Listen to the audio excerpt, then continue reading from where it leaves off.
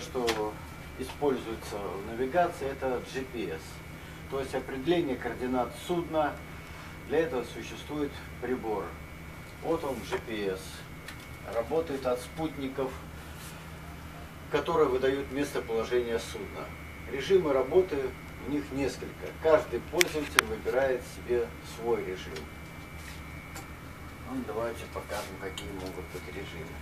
Есть кнопка, которая вот, показывает на дисплей. То есть я могу выбрать любой. Вот, например, возьму вот этот. Вот. Так. Так. Вот. Центр. Вот показывает, например, как карта отображается движение судна, показывает направление на точку, координаты, курс и так далее. Можно любой другой выбрать.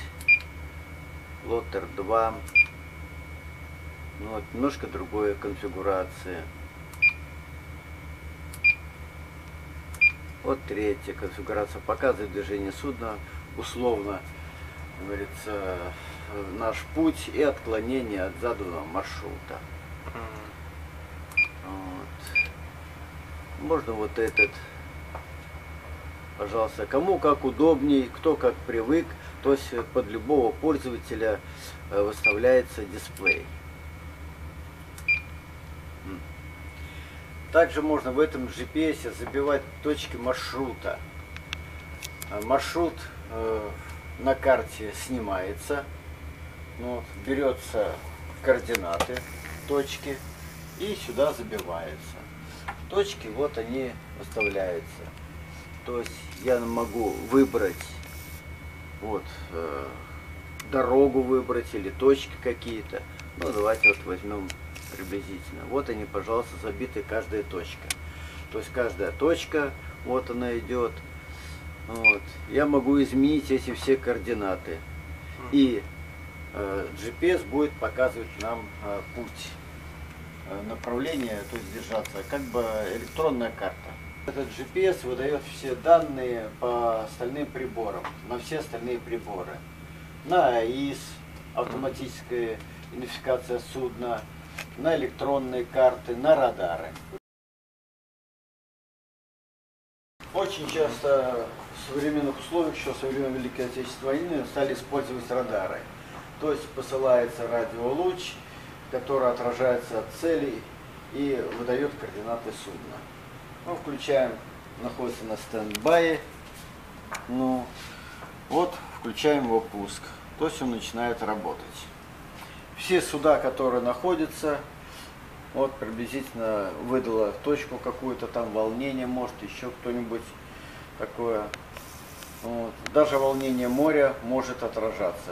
Для этого существуют различные усилители подавления помех от э, моря, от погоды, от волнения, дождь. Вот он здесь все написано на английском языке. То есть Си это море получается, Да. Райн от дождя, Да, а Грайн это, это усиление, само усиление само себя. усиление. И Тен это получается что? Ну это длинный волн. Ага, понятно. Так, э, здесь следующее. Можно назвать ночной режим, включается ночной режим и дневной режим. Также может использоваться вот эти ручки э, для включения электронного визира. Вот мы нажимаем один, и электронный визир какой-то на цель. Посмотреть, какое направление пелинг на данную м, на данную цель. Также можно э, переменные кольца дальности. Вот VRM 1 N. И также мы можем определить дальность до какой-то цели. Если на экране появляется цель, и вот здесь нам показывают, какая дальность. Мгм. Можно несколько кругов. Один, два, три, там. То есть тут в морских милях Вот. это, да, получается. Да. Мгм. Вот, пожалуйста, два круга Мгм. я сделал. У визира координаты тоже здесь же, получается, в этой части. Да, это длина вот выдает как раз вот, видите, координат дает. Не координаты а это. Если мы еще включим и визир, вот, то можем в точности определить вот координаты. Вот, пожалуйста, направление, пельник и дальность. Все также определяется. Отлично. Вот оно, видите, меняется курсор. Так. Если мы находим какую-либо цель, мы можем ее захватить, и она будет нас на сопровождении. Ну, цели здесь нет. Вот здесь вот э, написано цель не помеченная, потому что цели пока на экране нету. Мы идем в открытом море, вот, и цели не отражается. А когда она будет здесь, мы можем захватить ее. И здесь все данные, то есть дистанция, пелинг, скорость всего, э, время сближения и кратчайшее расстояние сбли- сближения с этой целью. Все вот эти данные для безопасного расхождения с судном. Ну вот в основном-то. А там по дальности, насколько он берет? По дальности я могу 24 мили. Здесь удается он 24, может 48 миль давать. Это очень большое расстояние. Визуально мы, конечно, ничего не увидим, а радар это отражает. Мгм. 72, но он на 72 навряд ли возьмет. Потому что усиление слишком слабое, и цели он не определяет. Вот максимально, что можем, пытаться на 72. Мгм. Но обычно на 48 это максимальное отражение целей. Мгм. А вот еще по поводу режимов работы, вот N-up, это, может еще отдельно об этом рассказать? Это режим работы выбирается в зависимости от того, как удобно пользователю. Я могу выбирать э, вот, режим работы выбирается, или курсор постоянно вверх, как смотрит это все. Head up. Вот, Да. вот. Э, Со смещенным центром. Вот видите, центр смещается вниз. Ну, вот. вот это когда север всегда наверху. Мгм. То есть- То есть у нас мы смотрим, North up. куда идем. Мгм. Да, норд up. То есть север вверху. Вот. Это со смещенным положением. То есть впереди Мгм. более пространство окружается, сзади нам смотреть не надо, мы больше смотрим вперед. То есть тот же Нортап получается, да? Тот же самый, только, Только центр смещенным. смещенный. Мгм. Можно отдельно центр вот, ставить, вот он, центр off, центр on. Включать. Мгм. Вот. То есть временно мы включили, посмотрели и все. А так сам режим работы, вот он меняется. То есть каждый э, штурман смотрит, как ему удобнее работать с этим Мгм. радаром. А вот еще отдельно про РМ и ТМ, эти движения режима. Сериальное движение цели к нам или же истины, куда он сам действительно идет. Потому что у нас есть движение свое, есть движение цели. Мгм. И истинное направление, когда он идет, э, куда он должен идти. А это реально, когда, как он сближается с нами. Мгм. Понятно. Ну, это кому действительно как удобнее. И э, через сколько минут вектор его цели, движение цели. Сейчас я не могу вам показать, потому что нет цели. Работает несколько режимов, которые выдают. Мы можем посмотреть или же цели, вот они цели, наименование цели, ну, это дистанция него и пелинг. Можем включить как э, плоттер, есть показывает как бы как радар. Мгм. Все цели, которые обнаруживают на экране, они отражаются и можем посмотреть на него. Вот наш курс и цели будут ос- относительно нас располагаться. Так. Ну, вот, ну что еще здесь можно сказать? Сортировка. Я могу сортировать по дальности, вот, или с ближней, или с дальней. Вот, видите, сортировка идет. Ну и э, эта кнопка на данные по нашему судну, которое находится. Вот три страницы у нас данные судна дает, которое забивается. Э, Наше местоположение, скорость, курс. Вот. Ну, это внешние параметры. Этот прибор служит для автоматической идентификации судна, что выдает наши, наше положение судна и расположение других судов для опознавания и обнаружения э, данного судна. М, А он еще, получается, связан вот с тем Обязательно. Они все приборы все связаны между собой. Все вот эти данные с АИСа, они поступают также и на радар. да? Мгм. На радаре точно так же отражаются вот эти все э, данные. Электронные карты, которые сейчас используются вместо бумажных карт, они вот выдают все данные, вот это САИС выдает. Мгм. Здесь прокладывается маршрут, вы- выбирается, и мы контролируем прохождение судна по данному маршруту. По безопасному прохождению все препятствия, все глубины также отражаются здесь. И мы можем спокойно контролировать. Который меняется, можем масштаб контролировать. Вот оно, судно идет, мы можем посмотреть любое судно с АИСа, все его данные. Скорость, направление, э, время сближения и кратчайшее расстояние прохождения мимо этого судна. То есть для безопасного расхождения судов вот эти все данные очень нам нужны. И все его данные, куда он идет, вот, все его ММСА, Кал Сиган, наименование судна, все его данные в общем. Мгм. Вот, масштаб меняется. Как видите, все изобаты здесь отражены. Можно включить, чтобы видно были все глубины. То есть изобат это линии Да, равной это глубины. линии, которые проходят э, данные глубины. Ну, давайте включим сейчас хотя бы, что он здесь интересует. Режимов тоже очень много. Можно смотреть вот так, все данные по маршруту, который выбран, путь, какая точка, куда идем, но сколько отклонений от нас от заданного курса, пелинг на данную точку и дистанция до этой точки. И расчетное время прибытия в эту точку. Вот они все выдают данные. Так, что здесь еще? Ну, цели у нас здесь. У нас пока одна цель, вот они. Мы можем также захватить любую цель. Вот. Союза захват цели.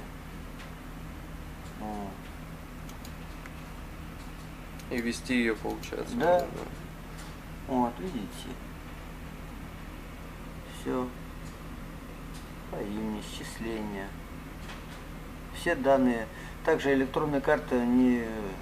Это все делается для безопасного расхождения судов, чтобы не было аварий на море, чтобы вовремя предупредить столкновение судов. Так, что еще здесь? Данные по ИСу. Вот. Что здесь? Ну вот я могу здесь, например, выставлять э, кольца, линии, точно так же, как на радаре. Вот, например, кольцо, м, три кабельтовых. Вот оно дает безопасное это кольцо. Так, для постановки на судна на якорь там, или еще что-либо выбирается дистанция. Мы можем ее регулировать, ста- выставлять то, что нам надо. Что еще мы здесь?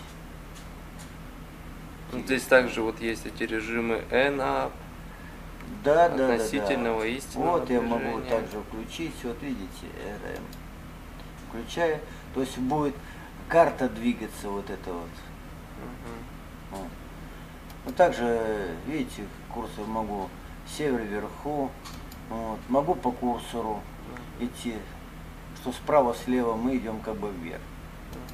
Ну, обычно выбирается, что север вверху, э, что направление. Ну, как удобнее. То есть все предназначено того, чтобы как человек э, лучше воспринимает обстановку. Индивидуально каждый настраивает под себя. Это делается очень быстро, настройки все, как кто привык э, видеть свое движение, так и выставляет для себя.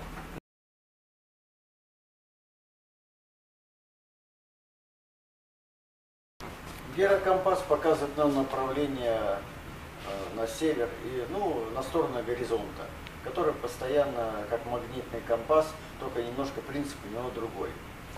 И он используется для управления судном в автоматическом режиме. Вот у нас авторулевой, как называется, автопайлот, который выставляется, вот он светится автоматическое управление рулем. Я могу поставить на ручное управление рулем, это уже не горит. И вот он автоматическое. Здесь выставляется курсор. Доброе утро. Здесь выставляется курсор, который держит у нас постоянное направление. Авторулевой автоматически подстраивает, если отклонение судна идет, он автоматически возвращает его на истинный курс. Но отклонение всегда бывает, потому что учет течения или же ветра, смещение судна все равно идет. Вот, поэтому всегда приходится иногда ручное. Есть еще э, другой принцип э, по треку. Тогда, когда на GPS выставленная дорога и данные передаются сюда, включается трек. Он идет уже точно по намеченному курсу, без всякого вмешательства э, штурмана. Он сам компенсирует течение, силу ветра, отклонение от заданного курса. Идет точно по треку. А На нашем судне это пока не реализовано, потому что GPS у нас пока старый. На новые GPS, которые выдают данные специально для вот этого автопайлота, э, он э, обрабатывает и работает. То есть если нам поставить новый GPS, то он будет выдавать эти данные, подключит. Понятно. Вот. Раньше это очень хорошо пользовались этим, э, когда не было ни электронных карт, ничего. Ну, то есть он измеряет скорость, и по карте откладывали за какое-то время мы прошли такой-то приблизительные координаты. То есть сейчас больше по этим... Сейчас все больше электроники. GPS нам точно выдает Но местоположение, и мы скорость. проходим. То есть он замеряет скорость судна относительно воды. Не относительно грунта, как GPS это показывает, а Мгм. именно относительно воды. То есть надо учитывать течение, сносы ветра и так далее и тому подобное. То есть при скольжении по воде он замеряет эту скорость. Вот у нас, например, скорость сейчас 7,8, а реально у нас совершенно другая скорость. Понятно. посмотреть, вот, сколько там, 7,7, ну практически у нас здесь нет течения. А бывает по 2-3 узла течения, и оно сразу видно разница. Ну, Потому что в море, видимо, идем, поэтому не так сильно. Нет, течение в море всегда есть. А Дело в том, что э, не везде оно одинаковое. Оно в одном направлении, потом действует в другое направление. Так что карты течения есть у нас и специально книга выпускается течение. Это колод предназначен для измерения глубины под судном. Это очень простой прибор, который показывает расстояние от днища до э, дна. Вот как раз у нас проходит толщу воды и показывает, вот у нас 6,32. Но эта цифра 6,32. У нас стоит выставлена осадка 3 метра. Если мы осадку изменим, вот давайте сейчас мы изменим осадочку. Так, где у нас осадочка? Вот драфт. Не 3 метра сделаем, а 6 метров. Видите, показывает уже 9 метров. Мгм. Вот. То есть осадку, получается, мы настраиваем сами. Да, Мгм. можем поставить вот 0 осадка. Он будет показывать реальную глубину под днищем. То есть от днища до этого. А так а с осадкой он показывает уже глубину уровня воды. Просто-напросто. Здесь несколько вот клавиш, которые помогают настраивать данный прибор. Вот, вот эта шкала, вот она 10 метров показывает, у нас сейчас стоит. Если я поставлю на 50 метров, вот он 50 выставил, он будет уже совершенно другой. Видите, шкала идет такое. Но если побольше 100 метров, то еще меньше будет показывать. Видите, он Мгм. днище. Сколько там? 500 метров. Ну, совсем чуть-чуть там. А тысячи метров там практически. Видите, вот он. Совсем ничего, Ничего, меняется картинка совершенно.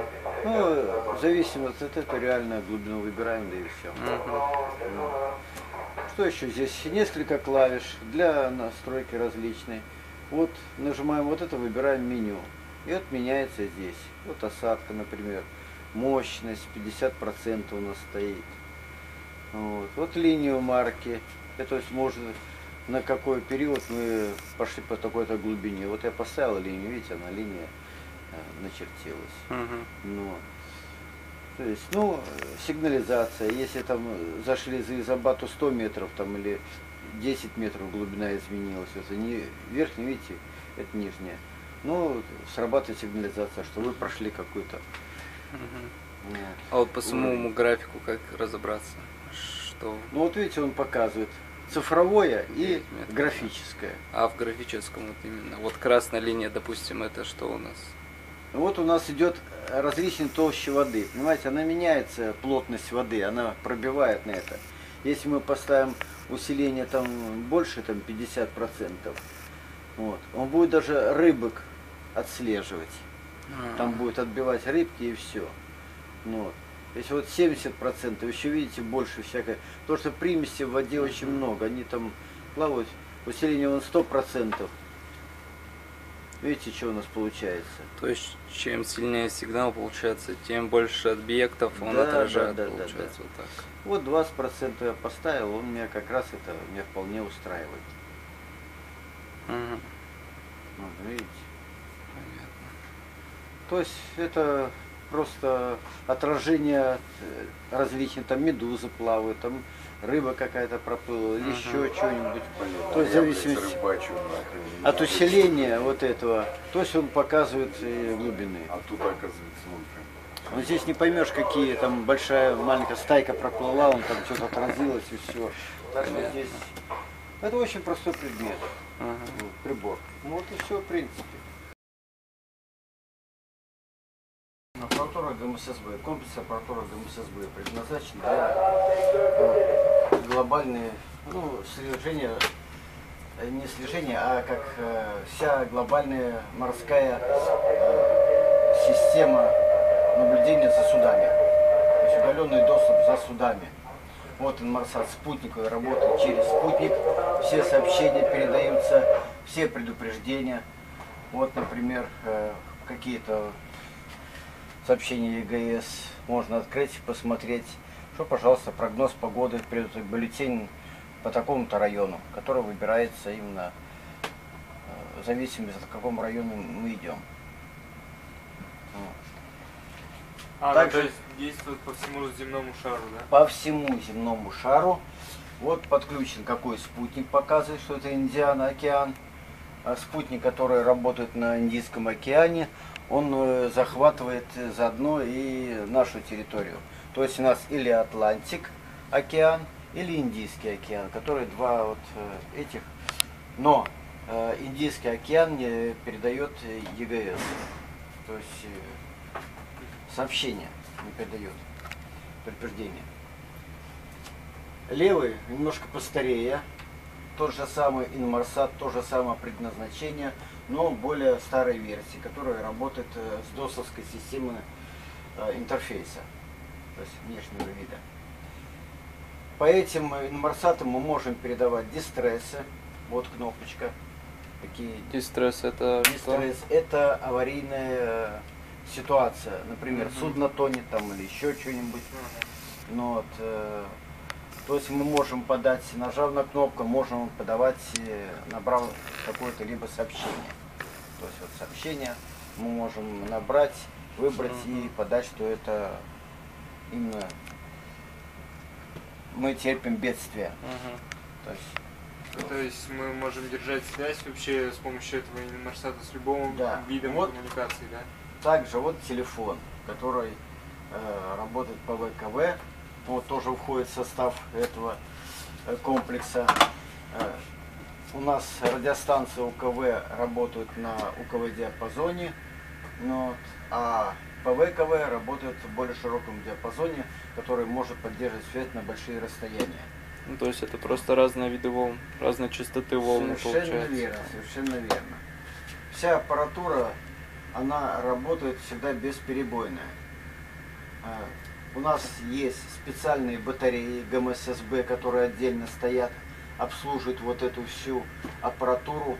Если даже выключилось питание 220 вольт, мы автоматически переходим на питание от батареи. Для этого есть у нас вот здесь блок управления батареями, что идет или на подзарядке постоянно стоят.